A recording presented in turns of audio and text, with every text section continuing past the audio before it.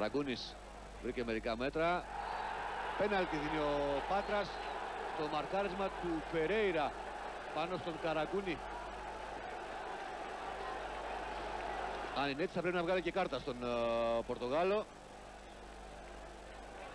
Για να δούμε. Εδώ ο Καραγκούνης. Νομίζω ο Καραγκούνης πέφτει μόνος. Δεν κάνει κίνηση δηλαδή ο Φερέιρα. Κοιτάξτε τα πόδια του είναι καρφωμένα κάτω. Το πόδι του Καραγκούνη πέφτει πάνω στον Φερέιρα. Δεύτερη στο 59 φεύγει τα αποδητήρια. Ο Μπασινάς στην εκτέλεση. Μπασινάς απέναντι στον uh, Κοψαχίλη. 1-0 ο Παναθηναϊκός ανοίγει το σκορ με το εύστοχα εκτελεσμένο πέναλτι του Άγγελου Μπασινά.